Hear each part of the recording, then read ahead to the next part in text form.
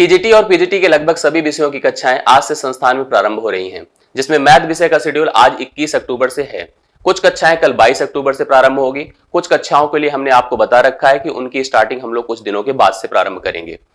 हमने आपको जो एक शेड्यूल प्रोवाइड किया था, पिछले कुछ दिनों से आपने देखा था कि संस्थान में गतिविधियाँ टीजीटी पीजीटी को लेकर चल रही थी। हमने एक जनरल बैच अनाउंस किया, जिसमें अलग अलग विषयों में आपने अपने ज़रूरत के हिसाब से हम पर बहुत ही भरोसा दिखाते हुए संस्थान पर फेत करते हुए आपने एडमिशन लिया। आपने अपनी ज़िम्मेदारी निभाई, आपने प्रॉपर वे में एडमिशन लिया अपनी एक सीट सुनिश्चित कराई। अब हमारी रिस्पॉन्सिबिलिटी बनती है, संस्थान की रिस्पॉन्सिबिलिटी बनती है कि हम आपके उस भरोसे पर खड़े उतरें। और मैं आपको प्रॉमिस करता हूँ कि जो आपने हम पर भरोसा जताया है, हम सभी उस पर पूरी खड़े उतरने की कोशिश करेंगे। मैं मैथ विषय के साथ आप सभी का स्वागत करता हूँ target with Alok online institute पे। और आपको यह भरोसा दिलाता हूँ, जिस तरह से आपने इतने दिनों तक आप फेद बनाए रखा है, हम लोग उस फेद को टूटने नहीं देंगे और किसी भी स्थिति में आपके साथ न्याय करने की पूरी कोशिश करेंगे। जो हमारे पास एक स्किल है, जो हमारे पास एक नॉलेज है, या जो हम प्रोवाइड करने की अपने अंदर क्षमता रखते हैं, उसका सौ प्रतिशत आपको देने की कोशिश करेंगे। जो एक प्रॉपर क्लासेस का कॉन्सेप्ट होता है, वो आपको हम प्रोवाइड करेंगे। हमने पिछले कुछ दिनों से जैसे आपको हम एक दो लेक्चर डमी आपको प्रोवाइड किए, जिसमें मैंने कुछ कॉन्सेप्ट अल्जेब्रिक स्टार्ट भी किया टीजीटी और पीजीटी को लेकर के मैंने एक आध मॉडल पेपर भी सॉल्व करवाया। आई होप आप सभी ने चीज़ों को समझा और कैसे क्या प्रोसीजर होगा उसको अप्लाई करने का पूरा प्रोसेस आपने क्लियर किया। आज से जब कक्षाएँ शेड्यूल्ड हो जाएँगी तो वहाँ पर आपको प्रॉपर वह टॉपिक वहीं से स्टार्ट होकर के उसके आगे की चीज़ों को प्रॉपर वे में स्टार्ट किया जाएगा, जो कि बैचेस का कॉन्सेप्ट होगा। पब्लिक प्लेटफॉर्म पर भी हम बीच बीच में मिलते रहेंगे। कुछ क्लासेस आपको हम प्रोवाइड करते रहेंगे, जिसमें हम आपको कुछ हो सकते हैं कॉन्सेप्ट या कुछ हम प्रैक्टिस के थ्रू आपसे इंट्रोड्यूस होते रहेंगे। तो आज भी मैंने एक ऐसे ही इंपॉर्टेंट टॉपिक को आपकी इस बैच में स्टार्ट किया है, जिसका एक इंपॉर्टेंस टीजीटी और पीजीटी दोनों परीक्षाओं में होता है। आप थंबनेल पे भी देख चुके होंगे कि आज मैंने मैट्रिसेस को आपके सामने इंट्रोड्यूस करने की कोशिश करी है। मैट्रिसेस टेंथ स्टैंडर्ड से ही स्टार्ट हो जाता है, लेकिन इसका जो इन्वॉल्वमेंट होता है, वो लगभग आपके हायर स्टडीज़ में भी होता है। आप ट्वेल्थ में भी देखते हैं मैट्रिसेस का बहुत बड़ा रोल होता है। किसी भी कम्पिटेटिव एग्जामिनेशन में भी आप देखते हैं मैट्रिसेस के एक से दो प्रश्न लगभग आया करते हैं। आप कोई भी टीजीटी पीजीटी के मॉडल पेपर को उठा के देखिएगा, आपको मैट्रिसेस मतलब आव्यूह के प्रश्न ज़रूर मिलेंगे। मैंने आव्यूह को एक प्रकार से आपके जहन में डालने की कोशिश को ही लेकर के इस क्लास को स्टार्ट किया है। आप सभी को मैं आज पूरे इसके स्ट्रक्चर को समझाने की कोशिश करूँगा कि इसमें क्या इसका इंट्रोडक्शन क्या इसका प्रोस्पेक्ट हो सकता है जो कि हमारी परीक्षाओं से रिलेट करेगा। इसके अंतर्गत किन किन बिंदुओं को हमें को फोकस करना पड़ेगा, ये सारी बातें मैं आज के इस लेक्चर के माध्यम से आपको बताऊँगा। और अगर आप इस पूरे सेशन को कंटिन्यू करते हैं तो ये आप मानकर चलिएगा, आप कुछ ना कुछ ज़रूर सीखेंगे। कुछ ऐसी जानकारियाँ भी ज़रूर अर्जित करेंगे जो कि वास्तव में आपके लिए रिक्वायर्ड होगी। हालाँकि हम सभी जब इस बैकग्राउंड पर हैं, जहाँ पर आप टीजीटी पीजीटी की प्रिपरेशन कर रहे हैं, वो भी मैथ विषय के लिए तो आप में से बहुतों ने ग्रेजुएशन मैथ्स में कंप्लीट किया है। पीजी किया है, कुछ लोगों ने जो है पीएचडी भी किया है। तो बहुत अच्छे लेवल की प्रिपरेशन आपने मैथ्स को लेकर के की है। एक प्रकार से जो बेसिक चीज़ें हो जनरल बेसिक बिहार पे आपको आती ही हैं। लेकिन फिर भी हमारी ज़िम्मेदारी बनती है कि अगर हम जब भी कोई टॉपिक शुरू करेंगे तो हम बिगिनिंग से स्टार्ट करेंगे मतलब शून्य से शुरू करेंगे और उसके शिखर तक पहुँचाने की आपको कोशिश करेंगे। तो आप पूरा भरोसा रखिए कि आपका जो फेथ है, जो आपने इतने दिनों से बना के रखा है, मैं उस पर पूरा खरा उतरने की, पूरा कायम उतरने, कायम होने की, पूरी आपको यहाँ पर एक पूरी जो हमारी, जितनी भी हमारी इफर्ट हो सकती है, मैं उसको निभाने की कोशिश करूँगा। मैट्रिसेस को मैं समझाने की कोशिश करता हूँ। मैट्रिसेस एक बहुत ही बड़ा एप्लीकेशन है मैथमेटिक्स का। अल्जेब्रिक सेक्शन का बहुत ही प्रॉपर वे में यूज़ किया जाता है। मैट्रिसेस को मैं थोड़ा सा समझाऊं। अगर हिंदी की बात करें तो इसका हिंदी अव्यूह होता है। आप सब जानते हैं। आव्यूह का यूज़ जो किया जाता है, उसके लिए सबसे पहले जिनकी रिस्पॉन्सिबिलिटी बनती, जिन्होंने इस पूरे कॉन्सेप्ट को हमें प्रोवाइड किया, उनका नाम यहाँ पर आर्थर गैले था, Arthur Cayley Arthur Cayley was the first person who introduce the concept of matrices मैं अभी थोड़ी देर में आपको मैट्रिसेस के एप्लीकेशन या मैट्रिसेस के प्रयोग के बारे में बताता हूँ कि हम लोग अपनी रेगुलर लाइफ में डेली लाइफ में मैट्रिसेस का कहाँ पर यूज़ करते हैं। लेकिन उसके पहले इनके बारे में भी जानना ज़रूरी था। आर्थर कैले एक बहुत बड़े साइंटिस्ट थे मैथमेटिशियन थे, जिन्होंने इस पूरे स्ट्रक्चर को प्रोवाइड किया। बाद में इस चीज़ को इंट्रोड्यूस करने की ज़िम्मेदारी एसन बर्ग को भी जाती है आइसन बर्ग को भी जाती है। जिन्होंने और इन दोनों ने, अगर देखा जाए तो इसको एक्सप्लेन भी किया था to for the quantum principle quantum principle की पूरी एक प्रकार से रूपरेखा को प्रेजेंट करने के लिए इन्होंने मैट्रिसेस का यूज़ किया। हालाँकि हम लोग जनरल बिहार पे जब मैट्रिसेस को पढ़ते हैं तो कहते हैं मैट्रिसेस का जो यूज़ होता है या इसका जो एप्लीकेशन होता है to solving a linear system जब एक रैखिक समीकरण जो कि एक पद के बाद दो पदों पर, तीन पदों पर, चार पदों पर, इस प्रकार से मल्टीपल आप टर्म्स पे डिपेंडेंट होता है वेरिएबल पे डिपेंडेंट होता है, उस किसी भी एक लीनियर सिस्टम को हल करने के लिए सॉल्व करने के लिए हम मैट्रिसेस का प्रयोग करते हैं। किसी भी एक प्रकार के अरेंजमेंट को प्रदर्शित करने के लिए भी हम मैट्रिसेस का प्रयोग करते हैं। कोई एक व्यवस्था, चाहे वो क्लास में असेंबली या असेंबली के दौरान बच्चों की सारी अरेंजमेंट हो गई या रेलवे कंपार्टमेंट अपने पूरे सीट अरेंजमेंट को प्रॉपर वे में दिखाने लगा। एग्ज़ाम हॉल में बच्चों के बैठने की पूरी व्यवस्था या क्लासरूम में बच्चों के बैठने की पूरी व्यवस्था, जिसमें हर एक टर्म्स को प्रॉपर वे में कंसिडर किया जाता है कि कौन चीज़ कहाँ पर प्लेस्ड की गई है। इस पूरे अरेंजमेंट को अगर हम लोग कंसिडर करें और भी अरेंजमेंट का एक प्रॉपर अगर हम स्वरूप प्रोवाइड करें, जो कि एक रेक्टेंगुलर फॉर्मेट में हो मतलब आयती फिगर के रूप में हो तो उसी को हम लोग मैट्रिक्स कहते हैं या मैट्रिसेस का एक रूप कहते हैं। जो कि एक सिमिलर वर्ड लगभग मैट्रिसेस से ही बनकर सामने आता है। मैं इसकी एक जनरल डेफिनेशन भी देता हूँ, कि it is the collection of numbers ordered by rows and the column आप इन दो शब्दों के बारे में भली भात अवगत होंगे कि क्या होता है रो और क्या होता है कॉलम जब भी हम कभी नंबर्स को टर्म्स को या वैल्यूज़ को एक सीक्वेंस प्रोवाइड करते हैं in the format of the row and column we got the matrices हमें मैट्रिक्स प्राप्त होती है। मैं मैट्रिक्स के बारे में थोड़ा सा एक ऐसे अरेंजमेंट करके मैं आपको चीज़ों को समझाता हूँ, दिखाता हूँ। आप लोग थोड़ी सी बातें समझने की कोशिश करिएगा। जब भी हम लोग यहाँ पर बात करते हैं रो की तो रो एक प्रकार का आपको दिखेगा कि हॉरिजेंटल अरेंजमेंट होता है। जब हम चीज़ों को क्षैतिज यहाँ पर प्रे करते हैं सो करते हैं तो उसको हम लोग यहाँ पर रो कहते हैं। और उसी चीज़ को अगर हम वर्टिकल प्रेजेंट करते हैं तो उसको हम लोग कॉलम कहते हैं। आप अगर क्लासरूम की बात करें तो क्लासरूम में भी आपने देखा होगा कि इस तरह से अलग अलग यहाँ पर कॉलम जनरेट किए जाते हैं, उनके अलग अलग रोस बनाए जाते हैं।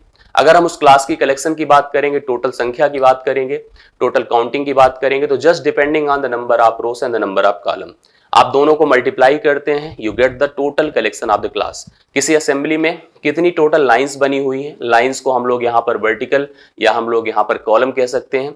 उस कॉलम में कितने रो बने हैं? मतलब कितने बच्चे हर एक लाइन में खड़े हैं? अगर एक प्रॉपर सिक्वेंस एक प्रॉपर शेड्यूल बन रहा है तो उसी के हिसाब से हम लोग यहाँ पर टोटल काउंटिंग कर सकते हैं। मतलब हम लोग यहाँ पर इस अरेंजमेंट को कुछ इस प्रकार से प्रदर्शित करते हैं, एक रेक्टेंगुलर फ्रेम में। एक रेक्टेंगुलर फ्रेमवर्क यहाँ पर जनरेट होता है, मैं इसको अभी थोड़ी देर में सब कुछ एक्सप्लेन करता हूँ। यहाँ पर जो हमारे पास मैट्रिसेस के एलिमेंट्स होंगे मतलब सीधी सी बात है कलेक्शन अगर बनेगा तो कंटेनिंग सम एलिमेंट्स मतलब कुछ एलिमेंट्स को कंटेन करेगा। उन एलिमेंट्स की लोकेशन को दिखाना इन रो और कॉलम का काम होता है। लाइक like अगर हमने कहा कि हम एक एलिमेंट्स ऐसी जगह पे रखने जा रहे हैं जो पहले रो में है और पहले कालम में है। तो अगर हम उस एलिमेंट्स को ए से एक्स से पी से, किसी से भी डिनोट करें तो we can say that this is the one one means row and one column मतलब this is at the location of the first row and first column इसी तरह से अब इसी रो में अलग अलग कालम को रीड करा जाएगा। जैसे कि हम सेकंड एलिमेंट अगर जैसे इसी विहार पर आगे बढ़े तो फ़र्स्ट रो है, लेकिन कालम कौन सा है? सेकंड कालम है। ऐसे अगर और आगे बढ़े तो फ़र्स्ट रो थर्ड कालम है। ऐसे हम लोग बढ़ते चले जाए तो एक ऐसी पोजीशन पर पहुँचेंगे जहाँ पर फ़र्स्ट रो पर एनथ कॉलम हमको फाइन मिलेगा मिलेगा, प्राप्त होगा। अब हम लोग जैसे फ़र्स्ट रो में थे, उसी प्रकार से हम रो टू में चले आए। मान लीजिए this was the row one अब हम लोग अगर रो टू में आ जाए तो देखिए क्या सिचुएशन बनकर आएगी।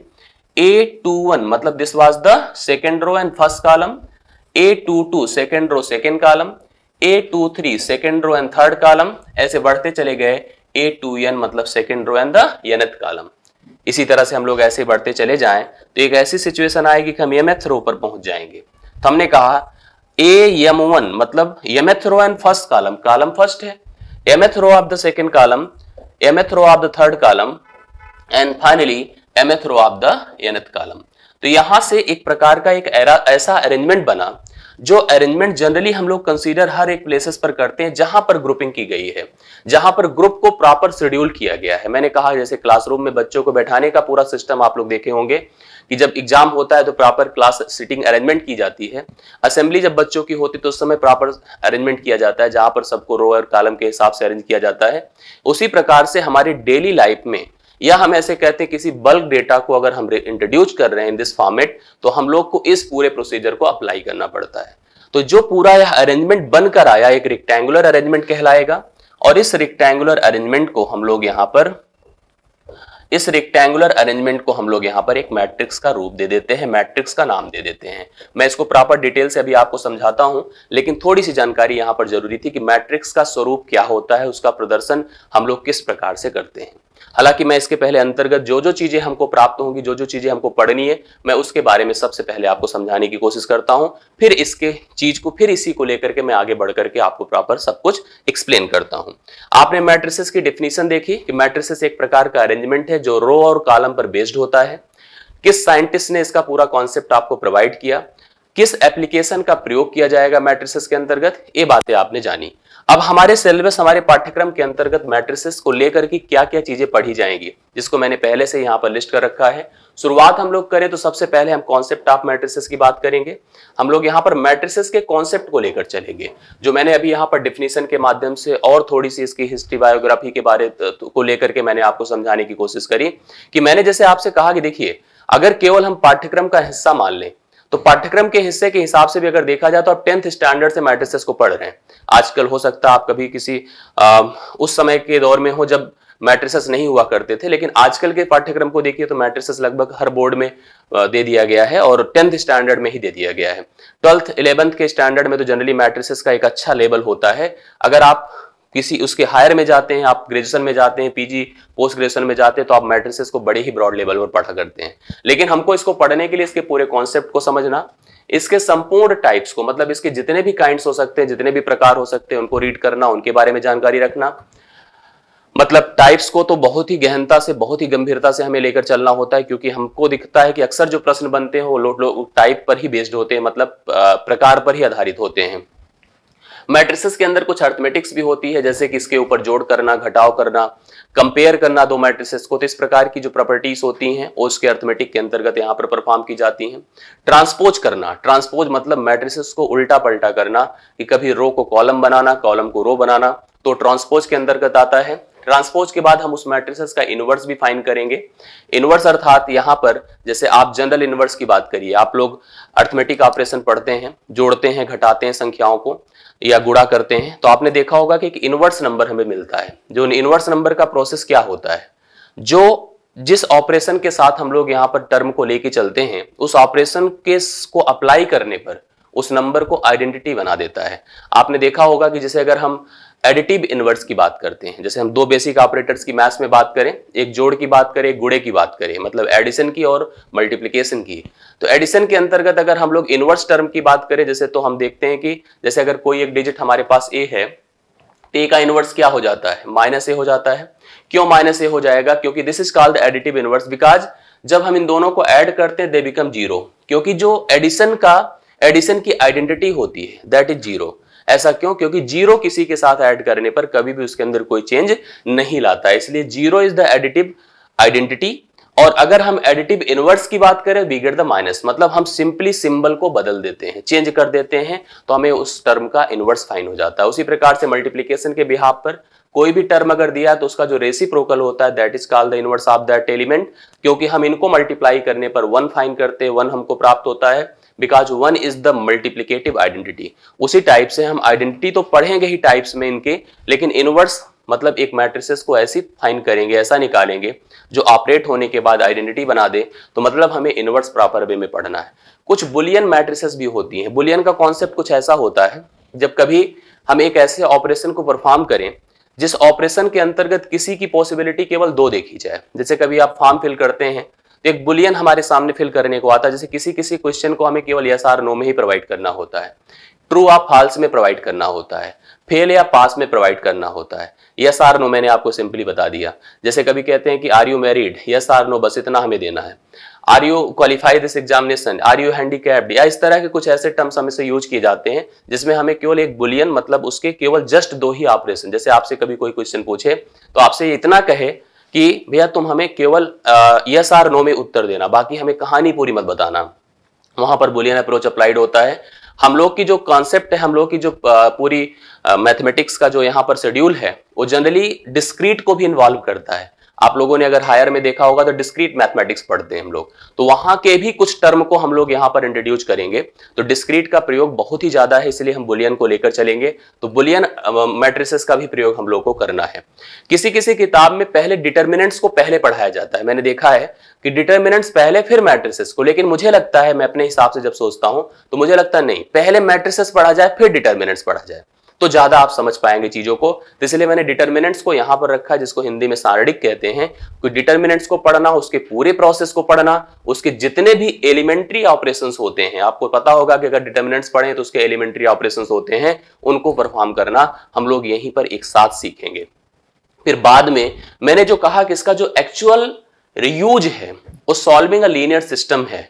लीनियर सिस्टम मतलब मैंने आपको बताया, जैसे x plus two Y is equal to something two X plus three Y is equal to something तो टू वेरिएबल्स का एक इक्वेशन है। थ्री वेरिएबल का भी हो सकता है फोर वेरिएबल का भी हो सकता है। अगर आपने हायर स्टडीज़ करी है तो आपको पता होगा कि क्रैमर रूल का यूज़ किया जाता है। गास एलिमिनेशन मेथड पढ़े जाते हैं।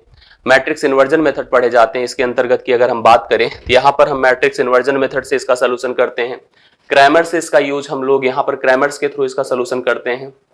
गास एलिमिनेशन का यूज़ करते हैं, जिसके थ्रू हम इस प्रॉब्लम को सॉल्व कर लेते हैं। तो ये सारे प्रोसेस जो भी हम लोग अप्लाई कर सकते हैं, हालाँकि कभी कभी मैं आपको बताऊँ इन्वर्जन मेथड तो ये चीज़ें मैं आपको समझाऊँगा तो लेकिन हम कंपटीशन पढ़ रहे हैं, ये भी ध्यान में हमको रखना है। हम कंपटीशन पढ़ रहे हैं तो कंपटीशन में हमें प्रॉब्लम सॉल्व करना है। ना कि प्रॉब्लम की एक थ्योरी प्रोवाइड करनी है। इसलिए हम कुछ चीज़ें यहाँ पर अपने हिसाब से कंसीडर करके चलेंगे। आप पूरा बिलीव करिएगा। जो जैसी जिसकी रिक्वायरमेंट है, जहाँ जिसका जैसा अनुप्रयोग है, उसी प्रकार से उस चीज़ को मैं यहाँ पर लेकर चलूँगा। हाँ इन टर्म्स के बारे में मैं ज़रूर एक्सप्लेन करूँगा, लेकिन जहाँ पर जैसे जिसकी यहाँ पर रिक्वायरमेंट ज़्यादा है और जिसका प्रयोग करके हम चीज़ों को बहुत अच्छे से कर लेंगे, उन्हीं चीज़ों पर हम ज़्यादा फोकस करेंगे। क्योंकि हमें यहाँ पर एकदम से थ्योरेटिकल नहीं पढ़ना है। हमें यहाँ पर ट्रिकी भी पढ़ना है। मतलब जो ज़रूरत है, क्योंकि ये जो ऐसी मैथमेटिक्स आप पढ़ रहे हैं, जहाँ पर सोल्यूशन के लिए दो दो पन्ने यूज़ करे जाते हैं। लेकिन हम लोग का यूज़ यहाँ पर थोड़ा सा लिमिटेड बिहाफ पे हम लोग को लेके चलना है। तो सारी चीज़ें मैं आपको प्रॉपर वे में लेके बताऊँगा, उसके लिए आप निश्चिंत रहिएगा। रैंक आपने सुना होगा कि हर मैट्रिसेस की रैंक कैलकुलेट की जाती है। रैंक निकालना और रैंक के प्रश्न भी लगभग आप लोग देखते हैं। इगिन बैलूस एंड इगिन वेक्टर्स आपने देखा होगा कि मैट्रिसेस को जब हम लोग यहाँ पर प्रेजेंट करते हैं कि ए मॉडुलस आप ए आई इक्वल टू, हम इसके फॉर्मेट में अगर हम ला के रखते हैं तो मैट्रिसेस एक इगिन वैल्यूज़ जनरेट करती है। उनका प्रयोग करके अलग अलग इगिन वेक्टर्स जनरेट किए जाते हैं, बनाए जाते हैं तो वो प्रोसेस भी आपके ही पाठ्यक्रम का हिस्सा है। इसमें कुछ चीज़ें मज्ड हैं जो कि बीच बीच में है, जिनके बारे में जैसे मैंने आपको बताया था कि जैसे यहीं पर पढ़ाते समय इन सारे मेथड के इंट्रोडक्शन ऐसे ही बीच बीच में जहाँ जिसकी रिक्वायरमेंट्स होगी, उसको हम लोग यहाँ पर प्रॉपर वे में लेके चलते रहेंगे। इसके लिए आप निश्चिंत रहिएगा। तो आते हैं हम लोग थोड़ा सा जैसे मैंने इंट्रोडक्शन से स्टार्ट करना था, मुझे कॉन्सेप्ट से स्टार्ट करना था तो मैंने अभी थोड़ा सा आपको इंट्रोड्यूस किया कि मैट्रिसेस के बारे में। तो आपको मैंने बताया कि जो मैट्रिसेस है, उसके एक सिमिलर वर्ड मैट्रिक्स से हम लोग प्रारंभ करते हैं, जिसको आप हिंदी में क्या कहते हैं? आव्यूह कहते हैं। आव्यूह क्या है? आव्यूह मैंने आपको बताया कि एक ऐसा अरेंजमेंट है, एक ऐसी व्यवस्था है, जो कि डिपेंड करती है रो और कॉलम पर। किस पर डिपेंड करती है? रो पर और कॉलम पर। रो को मैंने बताया कि रो क्या है हॉरिजेंटल अरेंजमेंट है हॉरिजेंटल लाइन है, और कॉलम क्या है वर्टिकल लाइन है। तो हम एक मैट्रिसेस जिसको हम एक रेक्टेंगुलर फ्रेम दे सकते हैं, उसके अलग अलग एलिमेंट्स को, जिस कलेक्शन को आप एक्चुअली दिखाना चाहते हैं, उस कलेक्शन के एलिमेंट्स की वैल्यू अलग अलग हो सकती है बट उसके पोजीशन को एक्सप्लेन करने के लिए हम रो का और कॉलम का सहारा लेते हैं। हम रो और कॉलम के हिसाब से उसको प्रेजेंट करते हैं। आप देखते जाइएगा तो आपको समझ में आएगा। This is for the row one this is the row one this is the column one आप ध्यान दीजिएगा तो आपको सारी बातें यहाँ पर स्पष्ट होती चली जाएँगी। कैसे क्या प्रोसेस यूज़ किया जाएगा वो मैं आपको समझाते जा रहा हूँ। ध्यान दीजिएगा। अब अगर यहाँ पर कोई एलिमेंट्स होगा तो मैंने कहा वो उसकी पोजीशन होगी ए ऑफ़ वन वन क्यों होगी? क्योंकि अब फ़र्स्ट रो पर है, फ़र्स्ट कॉलम पर है। First row second column, first row third column, ऐसे बढ़ते चले गए। First row nth column. इसी तरह से अगर हम लोग आगे बढ़े तो second row first column second row second column second row third column, ऐसे बढ़ते चले गए। Second row nth column. ऐसे हम और नीचे अगर से चलते चले जाएँ mth row first column mth row second column mth row third column and finally mth row nth column अब यहाँ से एक मैट्रिक्स बना मतलब एक प्रकार का एक आव्यूह जनरेट हुआ, जो कि एक प्रकार का रेक्टेंगुलर क्योंकि इसमें देखिए आपको लेंथ दिख रही है और इसकी वृद्ध दिख रही है, एक रेक्टेंगुलर अरेंजमेंट हुआ। मैं तो ऐसे जनरल कहता हूँ कि जितने भी मैट्रिसेस आप जनरेट करते हैं, वो सबके सब एक आयतीय फ्रेम मतलब रेक्टेंगुलर अरेंजमेंट में होते हैं रेक्टेंगुलर फ्रेमवर्क में काम करते हैं। यहाँ पर हर मैट्रिसेस का एक ऑर्डर डेवलप किया जाता है। ऑर्डर का अर्थ होता है किसका जो है आ, इसकी पूरी क्वांटिटी को हम किस क्रास के अंदर रख सकते हैं तो ऑर्डर को दिखाया जाता है यम क्रॉस यन से। जहाँ पर मैं आपको बता दू यम हो गया number of row number of row मतलब कितने रो हैं और यन जो हो जाएगा वो नंबर ऑफ़ कॉलम हो जाएगा। नंबर ऑफ़ कॉलम मतलब अगर आपको मल्टीप्लाई नहीं करना है कि आप इसका मल्टीप्लीकेशन कर दीजिए इसके मल्टीप्लीकेशन से आप total number of elements find कर सकते हैं। अगर आपको ये पता करना है कि कितने नंबर ऑफ़ एलिमेंट्स हैं तो टोटल नंबर ऑफ़ एलिमेंट्स के लिए आप इन दोनों का गुड़ा कर दीजिए। लेकिन अगर मुझसे ऑर्डर पूछा जाए तो ऑर्डर को जस्ट यम क्रॉस एन के रूप में आप लिख करके दिखा सकते हैं।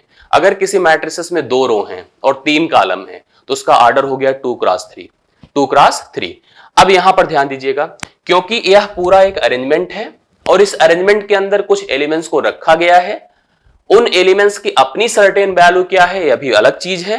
लेकिन उन एलिमेंट्स को रखा कहाँ जाएगा, उसकी लोकेशन को हम लोग इन एलिमेंट्स से यहाँ पर एक्सप्लेन करते हैं। अगर हम इसके एक्सप्लेनेशन की बात करें तो इसको हम ए ऑफ़ आई जे के रूप में प्रदर्शित कर सकते हैं।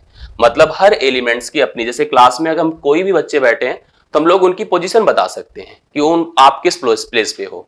अगर हम रो कॉलम को डिक्लेयर कर दें कहेंगे सेकेंड रो थर्ड कॉलम इस प्लेस पे। जैसे आपने क्वार्टिजियन सिस्टम पढ़ा होगा, अगर कोऑर्डिनेट सिस्टम में तो आपने देखा होगा कि हर एक पॉइंट निर्देशांक को प्लेस करने का एक अपना एक अलग सिस्टम होता है। उसको कहाँ रखा जाता है? उसके लिए ऑर्डर पेयर के हिसाब से चीज़ों को ही प्लान किया जाता है। मतलब किस क्वाड्रेंट में है, उसकी लोकेशन के लिए एक्स वाई एक्सिस की वैल्यू क्या है? सेम टू सेम अगर यहाँ पर भी बात किया जाए तो हर एक एलिमेंट्स को रखने के लिए हम ए आप आई जे का प्रयोग करते हैं। जहाँ पर आई बताता है कौन सी रो है और जे बताता है कौन सी कॉलम है। इस प्रोसेस को, इस एक्सप्लेनेशन को हम चेंज नहीं कर सकते कि आप कभी सोच लें कि आप जे आई कर दें।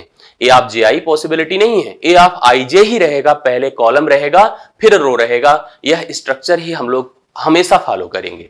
अब यह एलिमेंट की वैल्यू नहीं है, यह एलिमेंट की लोकेशन है। हर एलिमेंट की लोकेशन को हम ए ऑफ़ आई जे से डिक्लेयर कर सकते हैं। अब उस एलिमेंट्स की वैल्यू हो सकती है, वहाँ पर थ्री हो फाइव हो एक्स हो पी हो क्यू हो माइनस वन हो, कुछ भी हो, लेकिन उसकी लोकेशन ये है। अगर मान लीजिए कोई एलिमेंट यहाँ पर है सपोज़ करिए उसका मान फाइव है तो उसकी लोकेशन क्या है? तो आप कहोगे, सर, वो सेकेंड रो पर है और थर्ड कॉलम पे है। तो उसका जो ऑर्डर्ड पेयर बनेगा, वो टू कॉमा थ्री बनेगा। मतलब सेकेंड रो और थर्ड कॉलम तो ए आप two I two three A आप टू थ्री उसकी पोजीशन हो जाएगी और उस एलिमेंट का मान वहाँ पर जो भी होगा उसको हम लोग एक्सप्लेन कर सकते हैं। तो हमने क्या क्या सीखा कि मैट्रिसेस एक प्रकार की ऐसी व्यवस्था है जिसको हम एक रेक्टेंगुलर फ्रेम के थ्रू समझ सकते हैं। इसका ऑर्डर डिक्लेयर करने के लिए हम यम क्रॉस यन का यूज़ करते हैं। यम नंबर आप रो होता है यन नंबर आप कॉलम होता है। इसके एलिमेंट्स को एक्सप्लेन करने के लिए ए आप आई का सहारा लेते हैं। आई रो को एक्सप्लेन करता है जे कॉलम को एक्सप्लेन करता है और A of I J is the position of any elements of the matrix किसी भी एलिमेंट्स की लोकेशन को एक्सप्लेन करने के लिए ए ऑफ़ आई जे का सहारा हम लोग लेते हैं। अब हम थोड़ा सा बात करते हैं यहाँ पर, जैसे मैंने ऑर्डर की बात करी, उसके बाद हम मैट्रिक्स फॉर्मेशन की भी बात करेंगे। हर मैट्रिक्स को कैसे क्रिएट किया जाता है, मैं इसके बारे में बात करता हूँ। जैसे मैंने कहा कि एक मैट्रिक्स मैं लिख रहा हूँ टू वन थ्री फाइव मैं आपसे पूछूँ कि इसका ऑर्डर क्या है? तो आप कहोगे, सर, दो रो हैं, दो कॉलम है तो टू क्रॉस टू है। मैंने किया one, two, three, four, five, six. अब आप कहोगे, सर, दो रो हैं, लेकिन तीन कॉलम है तो टू क्रॉस थ्री हो जाएगा। अब ऐसे मान लीजिए, एक मैट्रिक्स मैंने बनाया, वन, टू, थ्री। ये मैट्रिक्स भी है। तो आप कहोगे, सर, तीन रो हैं, लेकिन कॉलम एक ही है तो आप इसको थ्री क्रॉस वन बना सकते हैं। मैंने कहा, फाइव, फोर, माइनस सिक्स। आपने देखा कि एक रो है, लेकिन तीन कालम है तो वन क्रॉस हम इसको थ्री बना सकते हैं। तो ये सब जो वैल्यूज़ आ रही हैं, ये जो स्ट्रक्चर आप दिखा रहे हैं they are the order of the matrix उन मैट्रिसेस के अलग अलग ऑर्डर हैं। कभी कभी एक क्वेश्चन हमारे यहाँ आता है, मैं उसको दिखाता हूँ। इन्हीं के बिहार पर हमसे कहा जाए सपोज़ करिए कि कंस्ट्रक्ट आप ध्यान दीजिएगा तो समझ में आएगा। Two cross three matrix two cross three matrix where A of I J is equal to I plus two J I plus two J हमको एक सीक्वेंस दे दिया, उसने हमें एक स्ट्रक्चर दे दिया, कहा कि हमसे टू क्रॉस थ्री ऑर्डर की मैट्रिक्स बनाओ, जिसमें हर एलिमेंट्स किस पर कैलकुलेट किया जाएगा? ए ऑफ़ आई जे जो बनेगा, वो डिपेंड करेगा आई प्लस टू जे के ऊपर। आप एक टू क्रॉस थ्री की मैट्रिक्स को पहले ऐसे जनरली प्लान कर लीजिए। जिसमें दो रो रहेंगी और तीन कालम रहेगा, इसको तो आप लोग अच्छी तरह से समझ ही रहे हैं। देखिए ध्यान से, मैंने कहा ए ऑफ़ वन वन भाई दो रो लेके चलेंगे मतलब रो वन रहेगा, रो टू रहेगा। इतनी बातें आपको पता है। सी वन रहेगा सी टू रहेगा सी थ्री रहेगा। ऐसे हम लोग थोड़ा सा समझ कर चले तो आपको यह चीज़ अभी थोड़ी देर में एकदम स्पष्ट हो जाएगी, हम क्या बताना चाहते थे यहाँ पर। A one one A one two A one three A two one A two two A two three अब आपने देखा टू क्रॉस थ्री की मैट्रिक्स बन गई। अब अगर हम इनको जैसे उसने कहा, उसके हिसाब से अगर लेके चले तो क्या प्रोसेस इसका हो सकता है? ध्यान दीजिएगा। इसके पूरे प्रोसेस को समझने की कोशिश करिएगा सभी लोग। इसने कहा कि A of I J is equal to I plus two J तो आई प्लस टू जे के लिए मैं क्या लिखूँगा? आई मतलब फ़र्स्ट एलिमेंट आई कहलाएगा और जे क्या कहलाएगा? सेकेंड एलिमेंट कहलाएगा। हर एलिमेंट्स की बात है। तो मैं लिखूँगा आई मतलब one plus two into one. आप समझ रहे हैं इस बात को कैसे हम कैलकुलेट कर रहे हैं? क्योंकि आई आई मतलब वन और जे मतलब टू जे इसने बोला है हमको। ऐसे यह हो जाएगा one plus two into two. ऐसे ये हो जाएगा one plus two into three. आप मेरी बातों को समझ पा रहे होंगे हम कैसे यहाँ पर प्रोसेस कर रहे हैं। अभी ये तो मैं लिख रहा हूँ जिससे कि आपको स्पष्ट हो जाए। अदरवाइज़ इतनी रिक्वायरमेंट नहीं थी। Two plus two into one. ऐसे देखो क्यों? क्योंकि यह आई है। और यह आपका जे है। तो आई एज इट इज़ लिया जे को हम क्या करेंगे? टू जे बोला है तो टू इंटू वन कर दिया। इसी तरह से हम लिखेंगे two plus two into two ऐसे two plus two into three जो जैसे कहा है, उस हिसाब से हमने बना दिया। अब इसका सोल्यूशन देखिए। दो में एक जुड़ा ऐड हुआ थ्री फोर वन फाइव हुआ। ऐसे थ्री टू जा सिक्स वन सेवन हुआ। देखो फोर हो गया टू टू जा फोर टू सिक्स हो गया, और थ्री टू जा सिक्स सिक्स टू एट हो गया। अब आप खुद ही समझ गए होंगे कि यह हमारे पास टू क्रॉस थ्री की मैट्रिक्स है, जिसमें हमने कहा टू क्रॉस थ्री की मैट्रिक्स है, जिसका जो एलिमेंट्स है, वो इस स्ट्रक्चर पर डिपेंड कर रहा था। आई होप ये चीज़ आपको समझ में आई होगी कि जो मैंने आपको बताया कि कभी कभी इस तरह से हमसे पूछ लेता है या हमसे ऑप्शंस दे करके डिस्क्राइब करने को कहता है कि इसमें इस फॉर्मेट की कौन सी मैट्रिक्स है। इस पर एक छोटा सा एग्ज़ाम्पल और मैं देखूँ। जैसे मान लीजिए मुझसे टू क्रॉस टू मैट्रिक्स बनाने को कहे, लेकिन कह रहा है कि जो ए ऑफ़ आई जे हो वो आपका आई माइनस जे हो। आई माइनस जे हो। अब आप एक टू क्रॉस टू की मैट्रिक्स को ऐसे जनरली समझ लीजिए। तो A one one A one two A two one A two two आपकी टू क्रॉस टू की एक मैट्रिक्स बन गई। अब इसके एलिमेंट्स को हम कैसे एक्सप्लेन करेंगे? जैसे इसने कहा है। कहा है कि जो एलिमेंट्स हो, वो आई माइनस जे पे डिपेंड करते हो। तो आप वन माइनस वन कर दीजिए ज़ीरो हो गया। वन माइनस टू कर दीजिए माइनस वन हो गया। टू माइनस वन कर दीजिए, वन हो गया और टू माइनस टू कर दीजिए, ज़ीरो हो गया। आपके पास एक मैट्रिक्स बन गई जो कि इस स्ट्रक्चर को फॉलो कर रही है और टू क्रॉस टू की मैट्रिक्स बन गई। तो मैट्रिक्स का क्रिएशन जो हम लोग जनरेट करते हैं विद द गिवन कंडीशन जैसे आपकी स्थिति दी गई हो, उसके बिहार पर हम इसको एक्सप्लेन ऐसे कर सकते हैं। आगे मैं बढ़ता हूँ। अब थोड़ा सा हम लोग एक्सप्लेन करते हैं about the types of the matrix ध्यान दीजिएगा टाइप्स ऑफ़ मैट्रिक्स मैट्रिक्स के क्या प्रकार हो सकते हैं? अलग अलग प्रकार की बात करें तो मैंने शुरुआत में बोला कि जो मैट्रिक्स बनती हैं, वो चाहे जैसी मैट्रिक्स बने, उन हर मैट्रिक्स को जनरली हम एक रिक्टेंगुलर मैट्रिक्स का रूप कह सकते हैं। मतलब वो सब की सब लगभग रिक्टेंगुलर मैट्रिक्स ही होती हैं। लेकिन हम उनको अलग अलग नाम से यहाँ पर उनकी अलग अलग स्ट्रक्चर के हिसाब से रीड करते हैं, जिसकी एक प्रॉपर जानकारी मैं एक एक करके आपको देने जा रहा हूँ। आप लोग समझने की बस कोशिश करिएगा। सबसे पहली मैट्रिक्स मैं आपको एक्सप्लेन कर रहा हूँ that is called the row matrix उसको हम लोग क्या कहेंगे? Row matrix. इसको कभी कभी आप रो वेक्टर भी कहते हैं। क्या कहेंगे? देखिए, रो वेक्टर। अब आप समझने की कोशिश करो। एक ऐसी मैट्रिक्स जो कि वन क्रॉस, जो कि वन क्रॉस यन के फॉर्मेट में हो, वन क्रॉस यन के ऑर्डर में हो, वह हमेशा रो मैट्रिक्स या रो वेक्टर कहलाएगी, जिसमें केवल एक रो हो ओनली वन रो। मतलब कोई एक ऐसी मैट्रिक्स जिसमें केवल एक रो हो कालम चाहे जितने हो, वह मैट्रिक्स आपकी रो मैट्रिक्स या रो वेक्टर कहलाती है। जैसे मान लीजिए मैंने लिखा A one one A one two A one three ऐसे बढ़ते चले गए ए वन एन यह एक मैट्रिक्स बनी जिसमें एक रो है और कितने कालम है? यन कालम है। So it is called the row matrix आप देखो column one column two column three column nth है, उससे हमें कोई मतलब नहीं है बट रो केवल एक है। अगर कोई मैट्रिक्स जिसमें केवल एक रो हो तो उसको रो मैट्रिक्स या रो वेक्टर हम लोग यहाँ पर एक रूप नाम दे सकते हैं। दूसरा आप लोग देखेंगे। That is called column matrix column matrix ध्यान देते जाइए एक एक चीज़ हम लोग यहाँ पर एक्सप्लेन करते चले जाएँगे, समझते जाएँगे। अब आप जो समझने वाले हैं, समझ गए होंगे। It is also called the column vector इसको भी हम लोग क्या कह सकते हैं? कॉलम वेक्टर कह सकते हैं। कॉलम वेक्टर मतलब आप समझ गए होंगे कि एक केवल इसका जो फॉर्मेट बनेगा, जो ऑर्डर बनेगा, वह यम क्रॉस यन वन के फॉर्म में हो। मतलब इसका ऑर्डर यम क्रॉस यन के रूप में हो। मतलब आप समझ गए होंगे जिसमें only one column only one column हो रो चाहे जितनी हो बट कॉलम हमेशा इसमें क्या हो? एक हो। उसी को हम लोग यहाँ पर कॉलम मैट्रिक्स या कॉलम वेक्टर कह सकते हैं। अब आप देखो कैसे बना। जैसे मान लीजिए मैंने एक मैट्रिक्स ऐसे जनरेट किया। इसमें लिखा A one one A two one A three one ऐसे बढ़ते चले गए ए एम वन मतलब कुछ भी हो सकता है रो में, लेकिन कॉलम फिक्स है कि कॉलम हमेशा एक रहेगा। तो उसको हम कॉलम मैट्रिक्स या कॉलम वेक्टर का रूप यहाँ पर बना सकते हैं, उसको दे सकते हैं। बाकी मैंने बताया, चाहे ये रो मैट्रिक्स बन रही हो, चाहे कॉलम मैट्रिक्स मैट्रिक्स बन रही हो, चाहे जिस प्रकार की मैट्रिक्स बन रही हो, हर मैट्रिक्स आपकी रिक्टेंगुलर मैट्रिक्स ही कहलाती है। इसको ध्यान में रखिएगा। अब आगे थोड़ा सा बढ़िएगा। तीसरे प्रकार की। तीसरे प्रकार की मैट्रिक्स का नाम हम दे रहे हैं स्क्वायर मैट्रिक्स जैसे कि आप स्क्वायर के बारे में भी जानते हो कि स्क्वायर जनरली रिक्टेंगुलर ही होता है। मतलब स्क्वायर जितने होते हैं, वो सब भी रिक्टेंगल ही होते हैं। जो रिक्टेंगल की सारी प्रॉपर्टीज़ होती है, वो जनरली स्क्वायर में भी फॉलो की जाती है। एक ऐसा मैट्रिक्स जिसमें number of row number of row is equal to number of column हो जाए। नंबर ऑफ़ कॉलम हो जाए तो वह मैट्रिक्स आपकी स्क्वायर मैट्रिक्स कहलाएगी। जैसे देखिए, हम लोग यहाँ पर ऐसे बना सकते हैं। एग्ज़ाम्पल के तौर पर मैंने कहा A one one A one two A two one A two two अब आपने देखा कि यह कैसी मैट्रिक्स बन गई? टू क्रॉस टू की बन गई।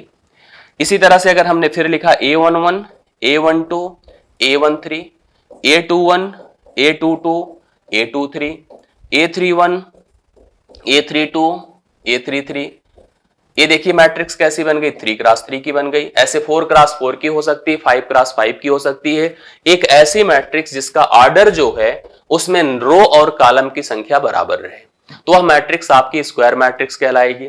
इन सभी मैट्रिक्स का जो आर्डर होता है, वो that is called nth ordered matrix इसको आर्डर को हम एक नाम और दे सकते हैं that is called nth ordered matrix मतलब जैसे आप इसको कह सकते हैं second ordered matrix second ordered matrix कह सकते हैं, इसको थर्ड ऑर्डर्ड मैट्रिक्स कह सकते हैं, आगे फोर्थ ऑर्डर्ड मतलब यहाँ पर क्रॉस लगाने की आवश्यकता नहीं है. डायरेक्ट आप जैसे टू क्रॉस टू की है तो उसको second order three class three की है third order fourth order fifth order इस तरह से हम इसके ऑर्डर का रूप या नाम हम कर, लोग यहाँ पर हम लोग एक्सप्लेन कर सकते हैं। तो यहाँ पर कोई ज़रूरी नहीं कि आप रो क्रॉस कॉलम ही एक्सप्लेन करिए। आपने अगर सेकेंड ऑर्डर कह दिया तो हम समझ जाएँगे कि टू क्रॉस टू की एक स्क्वायर मैट्रिक्स है। थर्ड ऑर्डर कह दिया तो हम समझ जाएँगे थ्री क्रॉस थ्री की एक स्क्वायर मैट्रिक्स है। तो स्क्वायर मैट्रिक्स में यही की फैक्ट होता है। कि नंबर ऑफ़ रो और number of column must be equal लेकिन इसके साथ साथ अगर हम इतनी मैथ जानते हैं तो ये भी समझ रहे हैं कि अभी एक रेक्टेंगुलर मैट्रिक्स का ही फ्रेम होता है, नाम होता है। यह बातें आपको क्लियर हुई होगी। आगे बढ़िए। चौथा, मैंने कहा diagonal matrix diagonal matrix diagonal आप जानते हैं, जैसे डायगोनल हिंदी में जनरली बिकड़ कहलाता है। रिक्टेंगल में अक्सर बिकड़ हम लोग देखते हैं स्क्वायर में अक्सर बिकड़ देखते हैं। एक ऐसा मैट्रिक्स ध्यान दीजिएगा। A matrix whose principal diagonal elements ध्यान दीजिएगा, एक ऐसी मैट्रिक्स जिसके principal diagonal elements principal diagonal diagonal elements must be must be non zero मतलब जिसके principal diagonal element must be non zero zero ना हो अभी प्रिंसिपल डायगोनल को मैं एक्सप्लेन करता हूँ। जैसे अगर कभी आप एक रिक्टेंगल बना दीजिए तो आपको पता है कि यह रिक्टेंगल अगर सपोज़ करिए है या स्क्वायर है तो डायगोनल किसको कहते हैं? They join the opposite sides they are called the diagonal ये डायगोनल है तो ये भी डायगोनल है। अब हम आपसे एक शब्द यहाँ पर लिखकर एक्सप्लेन कर रहे हैं कि the principal diagonal elements must be non zero तो principal diagonal that means this diagonal starting from the first row that will call the principal diagonal इसको हम लोग यहाँ पर प्रिंसिपल डायगोनल कहेंगे। एक मैट्रिक्स जिसका principal diagonal elements non zero हो and other remain elements are zero and other remain elements are zero जो बचे एलिमेंट्स हो, वो सब के सब क्या हो? ज़ीरो हो। तो उसको हम लोग डायगोनल एलिमेंट्स या डायगोनल मैट्रिक्स हम लोग कह सकते हैं। एग्ज़ाम्पल के तौर पर देखिएगा ध्यान से। मैंने एक मैट्रिक्स बनाया, मैंने यहाँ लिखा A one one zero zero यहाँ लिखा zero A two two zero. Zero zero A three three एक मैंने थ्री क्रॉस थ्री का ऐसे ही मैट्रिक्स ऐसे हमने बनाया, जिसमें मैंने देखा कि जो डायगनल एलिमेंट्स थे, वो आपके नॉन ज़ीरो थे। बाकी सारे के सारे एलिमेंट्स आपके क्या थे? वो ज़ीरो थे। अब मान लीजिए थ्री क्रॉस थ्री की एक स्क्वायर मैट्रिक्स है। तो स्क्वायर मैट्रिक्स के साथ साथ इस मैट्रिक्स का नाम क्या हो जाएगा? डायगोनल मैट्रिक्स हो जाएगा। तो डायगोनल मैट्रिक्स में ध्यान में रखना, देखिए मैंने इसको नॉन ज़ीरो नहीं कहा है। क्योंकि यह प्रिंसिपल डायगोनल यह होगा. This is the principal diagonal तो प्रिंसिपल डायगोनल को हमको कंसीडर करना है कि प्रिंसिपल डायगोनल हमारा नॉन ज़ीरो हो, तभी वह मैट्रिक्स आपका डायगोनल मैट्रिक्स कहलाएगा. So it is the diagonal matrix because its principal diagonal elements are non zero चलिए, आपसे कभी ऐसा पूछे तो आप एटलीस्ट दिमाग में रखिए कि डायगोनल मैट्रिक्स होता क्या है. हाँ एक चीज़ ध्यान में और भी रखना है यह जो है ज़रूरी नहीं कि स्क्वायर मैट्रिक्स ही हो. यह कुछ भी हो सकता है. तो इसको ध्यान में रख करके चलना है आप लोग को. आगे बढ़िएगा. Unit matrix. यूनिट मैट्रिक्स, आप इसका एक नाम और लिख सकते हैं, आइडेंटिटी मैट्रिक्स। Identity matrix. इसकी डिफिनीशन एक जस्ट समझ लीजिएगा कि अ डायगोनल मैट्रिक्स पूरी डिफिनीशन समझिएगा, एक डायगोनल मैट्रिक्स डायगोनल मतलब आप समझ रहे हैं जिसका non principal diagonal elements non zero है। A diagonal matrix whose principal diagonal elements principal या हम कह सकते हैं non zero elements principal diagonal elements must be unit unit मतलब वन जितने भी इसके प्रिंसिपल डायगोनल एलिमेंट्स हैं, पहली चीज़ देखिए, इसका नाम हम कह रहे हैं डायगोनल है। तो डायगोनल का मतलब इसके principal diagonal elements non zero हैं। अब वो नॉन ज़ीरो के साथ साथ अगर वन हो जाए तो उसको हम डायगोनल के साथ साथ यूनिट मैट्रिक्स भी कह सकते हैं। देखिए, ऐसे अगर मान लीजिए मैंने कोई मैट्रिक्स बनाया, मैंने लिखा five zero three zero zero minus three zero zero zero one ये जो मैट्रिक्स बनी, इसको आप डायगोनल मैट्रिक्स ही कह सकते हैं यूनिट नहीं कह सकते हैं। It's only diagonal matrix not unit matrix but अगर हम लोग एक ऐसा मैट्रिक्स बना दें, जिसमें मैंने लिखा one zero zero zero one zero zero zero one. इस तरह का जो एलिमेंट्स या मैट्रिक्स बनकर आएगा, उसके देखिए प्रिंसिपल डायगोनल एलिमेंट्स, वो सबके सब नॉन ज़ीरो के साथ साथ सबके सब वन है। अगर कभी किसी मैट्रिक्स के प्रिंसिपल डायगोनल एलिमेंट्स आपके वन हो जाए मतलब यूनिट हो जाए, और बाकी सारे एलिमेंट्स आपके ज़ीरो हो जाए तो उस मैट्रिक्स को हम लोग यहाँ पर आइडेंटिटी मैट्रिक्स या हम डायगोनल मैट्रिक्स कह सकते हैं। मतलब उसको हम यूनिट मैट्रिक्स कह सकते हैं, याद रखिएगा। अब जैसे ए मैट्रिक्स जो बनकर आई तो आपने नोटिस किया कि यह एक थ्री क्रास थ्री मैट्रिक्स है। यह थ्री क्रास थ्री मैट्रिक्स है। तो इसको हम कह सकते हैं आई थ्री ध्यान दीजिएगा, यह आई थ्री अगर कहीं आई थ्री लिखा है तो आप इसको ऐसे लिख सकते हैं। मान लीजिए मुझसे कहते हैं आई टू तो हम कहेंगे कि वन ज़ीरो ज़ीरो वन यह आई टू हो गया मतलब सेकेंड आर्डर आर्डर की यूनिट मैट्रिक्स हो गई।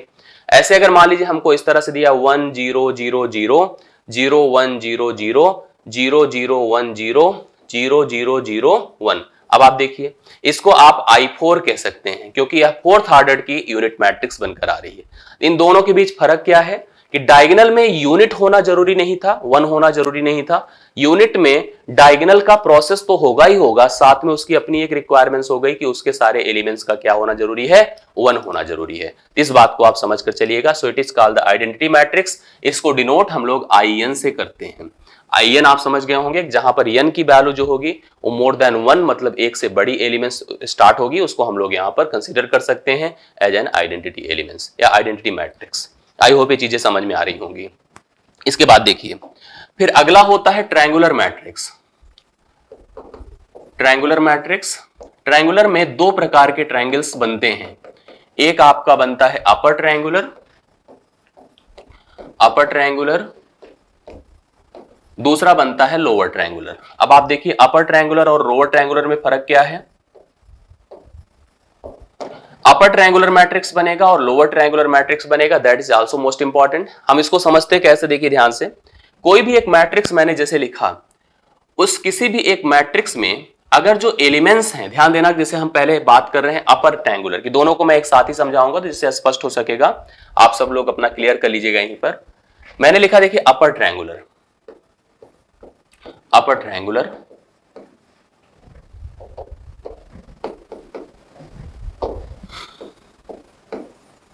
और इधर मैंने लिखा लोअर ट्रायंगुलर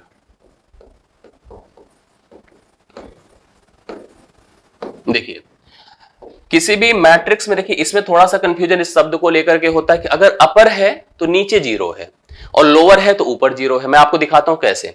कोई भी मैट्रिक्स से सपोज़ करिए कि हम थ्री क्रास थ्री की मैट्रिक्स कंसीडर कर रहे हैं फोर क्रास फोर की भी ले सकते हैं, आप कोई भी एक स्क्वायर मैट्रिक्स ले लीजिए। मैंने कहा किसी मैट्रिक्स में ए ऑफ़ आई जे ज़ीरो हो, कहाँ पर? जहाँ पर आई ग्रेटर देन क्या हो? जे हो। मतलब किसी मैट्रिक्स में जहाँ पर आई ग्रेटर देन जे हो, अगर ओ एलिमेंट ज़ीरो हैं तो उस मैट्रिक्स को हम लोग अपर ट्रायंगुलर मैट्रिक्स कहते हैं। मान लीजिए हम एक थ्री क्रास थ्री की मैट्रिक्स कंसीडर कर रहे हैं, सपोज़ करिए। A one one A one two A one three A two one A two two A two three A three one A three two A three three मैंने एक three cross three की matrix यहाँ पर consider कर लिया। अब आपने देखा कि मैंने कहा कि ओ एलिमेंट्स जहाँ पर भाई लोकेशन हम आईजे से ही डिक्लेयर करते हैं। जहाँ पर आई की वैल्यू जैसे बड़ी हो ओ एलिमेंट्स अगर आपके ज़ीरो हो तो उस मैट्रिक्स को हम लोग अपर ट्रायंगुलर मैट्रिक्स कहते हैं। समझिएगा। One one one is equal to one one two तो छोटा है छोटा है, यहाँ बड़ा है। देखिए two is greater than one A elements आपका ज़ीरो हो। ए एलिमेंट ज़ीरो हो। अब इसको भी देखिए टू टू इक्वल है टू थ्री टू छोटा है थ्री वन यह भी ग्रेटर है, यह भी ज़ीरो हो, और थ्री टू यह भी ज़ीरो हो। देख ट्रायंगल देखिए जनरेट हो रही है। अगर हम कभी कोई ऐसी मैट्रिक्स जिसको हमें कंसीडर करना हो कि अपर ट्रायंगुलर है कि या लोअर ट्रायंगुलर है, मैंने देखा कि बाकी एलिमेंट्स आपके नॉन ज़ीरो हैं, जो भी है, उससे हमसे मतलब नहीं है। लेकिन हमने देखा कि उस उन एलिमेंट्स को जिसकी लोकेशन में आई की वैल्यू जैसे ग्रेटर थी, वो एलिमेंट्स अगर ज़ीरो हैं तो ऐसी मैट्रिक्स को हम लोग अपर ट्रायंगुलर मैट्रिक्स कह सकते हैं। तो इसको हम देखिए, एक ट्रायंगल जनरेट हो रही है, इसको हम अपर ट्रायंगुलर मैट्रिक्स यहाँ पर कह सकते हैं। इसी तरह से ध्यान दीजिएगा आप सभी लोग जो है, मान लीजिए हम थोड़ा सा और ऐसा ही बनाते हैं। एक हमने और फोर क्रॉस फोर का सपोज़ करिए, देखिए क्रिएट किया। मैंने लिखा A one one A one two A one three A one four A two one A two two A two three A two four A three one A three two A three three A three four ऐसे A four one A four two A four three A four four अब आप समझिए, जहाँ जहाँ पे आई की value जैसे greater है, आप देख पा रहे यह ग्रेटर है, यह ग्रेटर है, यह ग्रेटर है, यह ग्रेटर है, यह ग्रेटर है यह ग्रेटर है। तो आप इस समय भी एक ट्रायंगल जनरेट कर सकते हो यहाँ पर। So this triangle is also called the upper triangular matrix तो हम जब देख रहे हैं कि जो अपर है एक्चुअली वह नीचे है, जिसे देखने की बात किया जाए प्रिंसिपल डायगोनल के साइड में है और अपर जो है एक्चुअली देखा जाए, देखिए प्रिंसिपल डायगोनल यह था। हम लोग इसी बात को लेकर यहाँ पर इसको डिक्लेयर करते हैं कि वह प्रिंसिपल डायगोनल के बिलो हो, वो अपर कहलाएगा। और ऐसी मैट्रिक्स जहाँ पर ए ऑफ़ आई जे तब ज़ीरो हो जब when I is less than J जहाँ पर आई जे से छोटा हो, अगर वहाँ पर एलिमेंट्स आपके ज़ीरो हो तो उसको हम लोअर ट्रायंगुलर मैट्रिक्स कहेंगे। जैसे एग्जांपल में देखिए, हम एक थ्री क्रॉस थ्री से स्टार्ट करते हैं तो चीज़ें आपको स्पष्ट हो जाएँगी। A one one A one two A one three A two one A two two A two three A three one A three two A three three अब देखिए, एक हमने थ्री क्रॉस थ्री की मैट्रिक्स बना दी। इन matrix में जहाँ पर आई की वैल्यू जैसे छोटी है, वहाँ वहाँ एलिमेंट्स अगर ज़ीरो हैं तो वह मैट्रिक्स आपकी लोअर कहलाएगी। जैसे मैंने देखा I is equal to one या मतलब I is equal to J I is less than J तो ए ज़ीरो हो जाए ए ज़ीरो हो जाए, यह ज़ीरो हो जाए।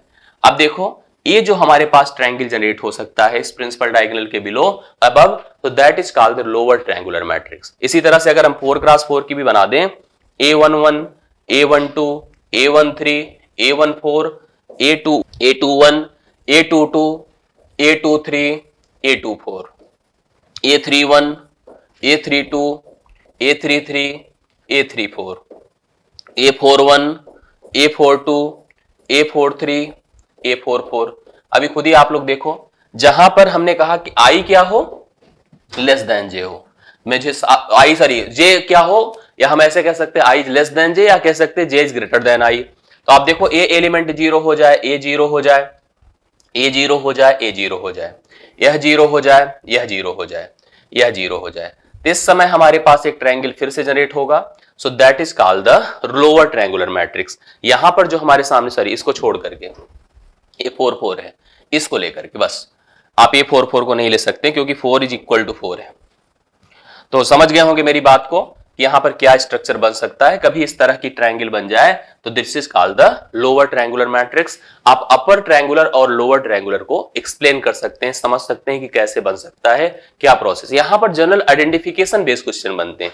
आपको देख करके जज करना पड़ता है, पहचान करनी पड़ती है which one the upper lower which one the upper triangular or lower triangular. इसको डिसाइड करने की रिस्पॉन्सिबिलिटी आपकी है। अगर हम समझ पाए हैं तो हम इसको समझा सकते हैं, बता सकते हैं कि क्या ऐसी रिक्वायरमेंट होती है, कैसे हम समझ पाते हैं। आई होप समझ पाए होंगे। इसी में हम थोड़ा सा आगे बढ़ेंगे तो हम आपको बताएँगे about the transpose of the matrix transpose of matrix कोई भी मैट्रिक्स है, उसके ट्रांसपोज की बात की जाए तो थोड़ा सा इसका एक्सप्लेनेशन समझिएगा। मान लीजिए मेरे पास एक मैट्रिक्स है ए ए का अपना एक ऑर्डर होगा, ज़ाहिर सी बात है एम क्रॉस सपोज़ करिए। अगर हम इसका ट्रांसपोज बनाएँ, अगर हम इसका एक ट्रांसपोज बनाएँ तो ट्रांसपोज को हम डिक्लेयर कैसे करेंगे, पहले एक्सप्लेन कैसे करेंगे, मैं आपको बता दूँ। दैट विल बी ए आप ए की पावर टी मतलब जनरल जो एक्सप्लेनेशन होता है ए की पावर टी से इसको हम लोग ट्रांसपोज जनरेट करते हैं। मैं आपको बता दूँ, इसका जो आर्डर बनकर आएगा, अगर इसका यम क्रॉस यन है तो इसका आर्डर यहाँ पर यन क्रॉस यम हो जाएगा। यहाँ पर यन होगा और यह जाकर के यहाँ पर इंटू यम हो जाएगा। समझिएगा। यन क्रॉस यम हो जाएगा। मतलब ऑर्डर रिवर्स हो जाएँगे। ऑर्डर तुरंत बदल जाएँगे। मतलब एक चीज़ हम समझ जाए कि अगर इसका कोई एलिमेंट ए आप आई जे है तो इसका जो एलिमेंट होगा, वह ए आप जे आई के इक्वल होगा। मतलब जो ए आप आई जे है, वह एक्चुअली ए आप जे आई के इक्विवेलेंट हो जाएगा, उसके समतुल्य हो जाएगा। मतलब आप सीधा सीधा समझ सकते हैं कि हम ऑर्डर को ही चेंज कर देते हैं। तो जाकर के हमको ट्रांसपोज फाइंड होता है, ट्रांसपोज मिलता है। मैं एक एग्ज़ाम्पल लेता हूँ। मैंने एक एग्ज़ाम्पल लिया, टू क्रॉस थ्री मैट्रिक्स बनाया। मैंने लिखा टू है, फाइव है, सेवन है, थ्री है, फोर है फाइव, या हम कह सकते हैं थ्री है, फोर है, वन है। एक मैट्रिक्स है, आप देख पा रहे ए है, इसका ऑर्डर क्या है बताएँ? टू क्रॉस थ्री है। मुझसे कहा जाए कि ए की पावर टी मतलब transpose of A, B required to get the transpose of A. अगर इसका ऑर्डर टू क्रॉस थ्री है तो ज़ाहिर सी बात जो ए की पावर टी बनेगा, उसका ऑर्डर थ्री क्रॉस टू होगा, जो मैंने अभी बताया उसके बिहाफ पर। बनाने का सिस्टम क्या है? मैंने कहा कि अगर लोकेशंस की बात करें तो यह ए वन वन है ए वन टू है ए वन थ्री है ए टू वन है ए टू टू है ए टू थ्री है। तो ऑर्डर हम समझ रहे हैं। अब हम एलिमेंट्स को चेंज करें, जैसे उसके लोकेशन को। वन वन तो एज इट इज़ रहेगा तो वन वन क्या हो जाएगा? ए वन वन मैंने कहा जो वन टू है वो टू वन बन जाएगा। तो टू वन की पोजीशन ए हो जाएगी। टू वन की पोजीशन ए हो जाएगी। इसी तरह से वन थ्री मतलब ऐसे देखा जाए तो एलिमेंट्स के बिहाफ पर अगर हम लिखना शुरू करें तो एलिमेंट्स के बिहाफ पर हम कैसे रीडिंग कर सकते हैं राइटिंग कर सकते? देखिए, यहाँ टू हो जाएगा या फाइव यहाँ चला आएगा, वन थ्री थ्री वन हो जाएगा तो कहाँ चला जाएगा? यहाँ चला जाएगा। ऐसे जो टू वन है, वन टू बन जाएगा मतलब यह थ्री हो जाएगा या फोर हो जाएगा या वन हो जाएगा। तो आपने देखा यह थ्री क्रास टू की मैट्रिक्स बन गई। अगर आपको समझना है तो कुछ ऐसे सोचिए इसके इस रो को ऐसे उठाइए। रो को ऐसे गिरा दीजिए। तो रो बिकम कॉलम जो रो वन था that become column one this row one take it this take this and drop this तो row one become column one and row two row two become column two देखिए, जो row one था, वह column one बन गया और रो to जो था, वह कॉलम टू बन गया। उसी तरह से column one become row one and column two become row two and column three become row three तो मतलब row interchange with the column तो this matrix will call the transpose of matrix अगर कभी मुझे रिक्वायरमेंट्स हुई, एक matrix का transpose fine करने की तो हम रो और कॉलम को आपस में इंटरचेंज कर देते हैं। तो this is the process to getting the transpose of matrix कभी भी ऐसी कोई ज़रूरत पड़ जाए तो हम लोग तुरंत ट्रांसपोज फाइंड कर सकते हैं। जैसे एक एग्जांपल और मैं लेता हूँ। मैंने कहा वन है फाइव है थ्री है टू है वन है सेवन है टू है, वन है, सेवन है, फोर है, टू है, नाइन है। अभी तो मान लीजिए मैंने थ्री क्रॉस थ्री लिया है। तो ज़ाहिर सी बात इसका ट्रांसपोज भी करेंगे तो थ्री क्रॉस थ्री ही आएगा। लेकिन एलिमेंट्स देखिए कैसे मेंशन किए जाएँगे। यह आपके पास ए की पावर टी देखिए कैसे होगा। रो को कॉलम बनाए तो one five three this row become column one this row become column two ऐसे उठाइए, ऐसे ड्रॉप करिए। Two one seven this row again become column two four two nine तो हम रो को कॉलम बना देते हैं कॉलम को रो बना देते हैं तो ऑटोमेटिकली मैट्रिक्स अपने ट्रांसपोज के फॉर्म में आ जाती है ट्रांसपोज बन जाती है। आगे मैं बढ़ता हूँ, देखिए। इसमें कुछ और चीज़ें, जैसे मैं बताता हूँ आपको about the symmetric matrix symmetric matrix generally symmetric को हम लोग समझे कि क्या होता है सिमेट्रिक जिसको हिंदी में अक्सर सममिति कहते हैं। एक वैल्यू अगर दूसरे के अबाउट हो तो that is called symmetric like this hand is symmetrical to this hand exactly fold to each other एक दूसरे के ऊपर फिट हो जा रहा है तो सिमेट्रिकल है। कभी कोई फिगर को हम काट दे, आप लोगों ने सिमेट्री पढ़ी होगी।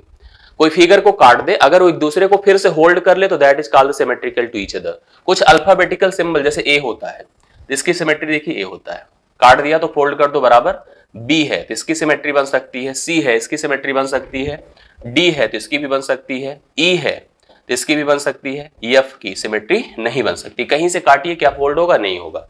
तो सिमेट्री का मतलब ही हो गया एक दूसरे के ऊपर एग्जैक्टली फिट हो जाना तो एक दूसरे के सिमेट्रिकल कहलाना होता है। रिक्टेंगल की सिमेट्री बनाते हैं स्क्वायर की सिमेट्री बनाते हैं। सिमेट्री अगर हम किसी एक मैट्रिक्स की बनाएँ तो उसके लिए सबसे पहले रिक्वायर कंडीशन हो कि जो मैट्रिक्स की सिमेट्री हम बना रहे हैं या सिमेट्रिक जिसका फाइन करें वह मैट्रिक्स हमेशा और हमेशा स्क्वायर होना चाहिए।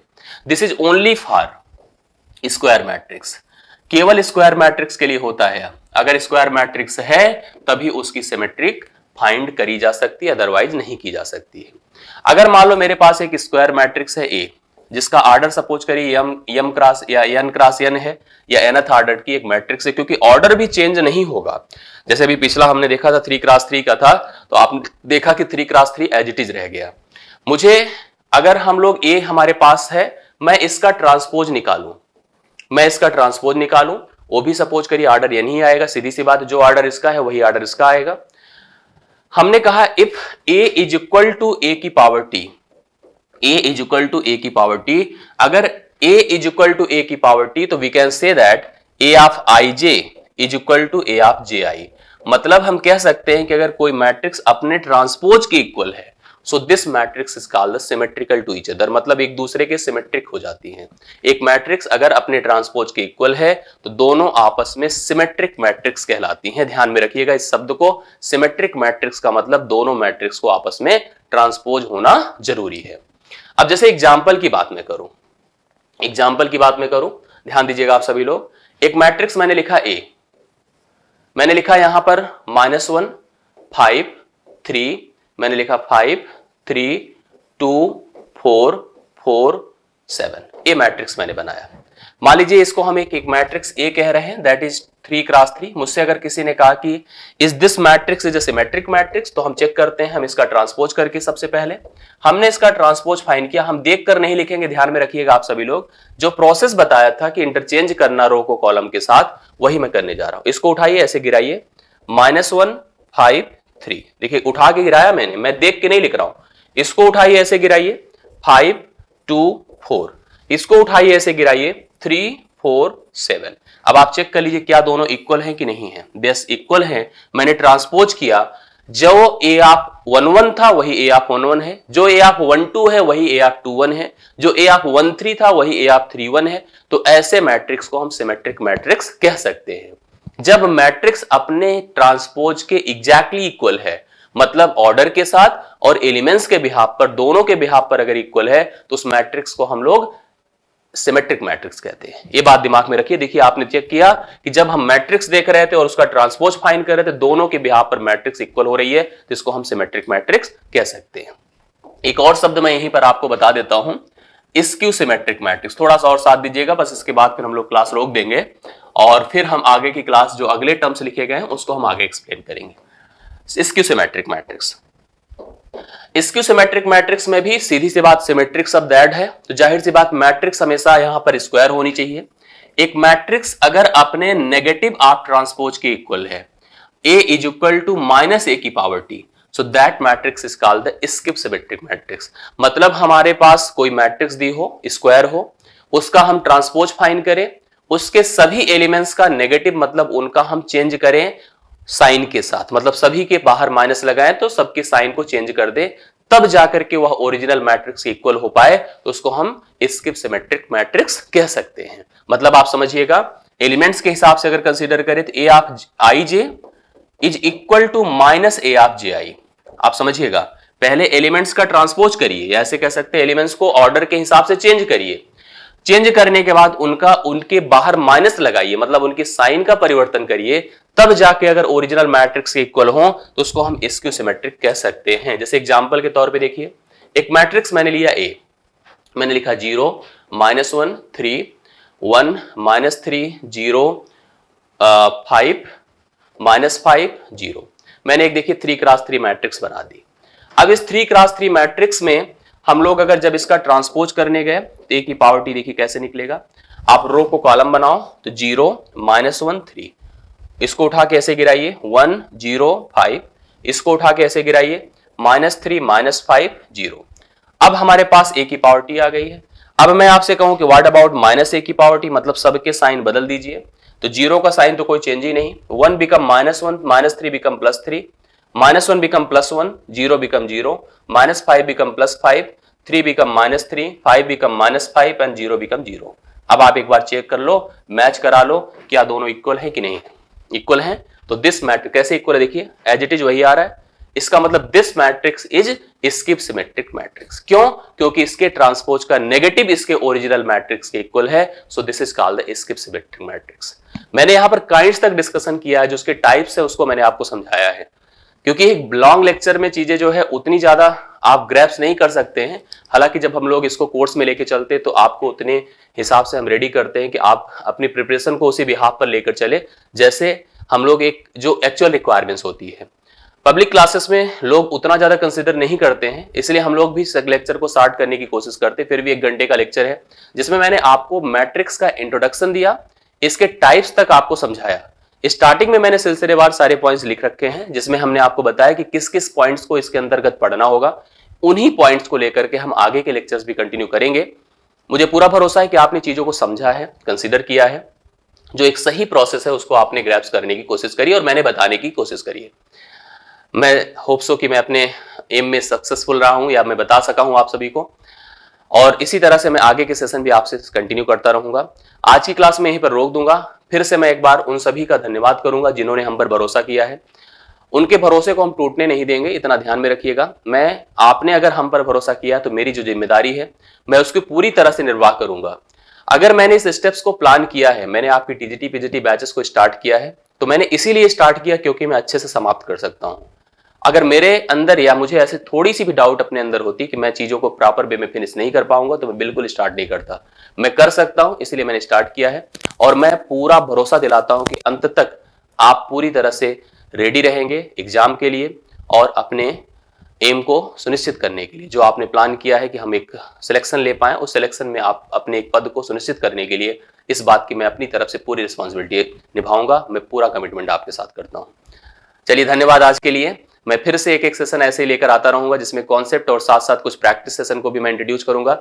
आज से क्लासेस आपकी सुचारू रूप से बैचेस में प्रारंभ की गई हैं। एक प्रॉपर शेड्यूल आपको मिला हुआ है। उस शेड्यूल के तहत कक्षा है। आज से आपकी बैच में ऐप के थ्रू आपको प्राप्त होती रहेंगी। आपको और भी जानकारी अगर लेनी है संस्थान के प्रति कोर्सेज के प्रति, अपने विषय के प्रति तो आपको स्क्रॉलिंग में जो नंबर्स दिए गए हैं, उस नंबर पर आप फ़ोन कर सकते हैं। फ़ोन करके संस्थान से जुड़ने का प्रोसेस चीज़ों को समझने का सिस्टम सारी चीज़ों के बारे में जानकारी आप संस्थान में 10 बजे से सात बजे तक की जो एक टाइमिंग दी गई, उसके अंतर्गत आप कर सकते हैं। थैंक यू सो मच बहुत बहुत धन्यवाद थैंक्स लॉट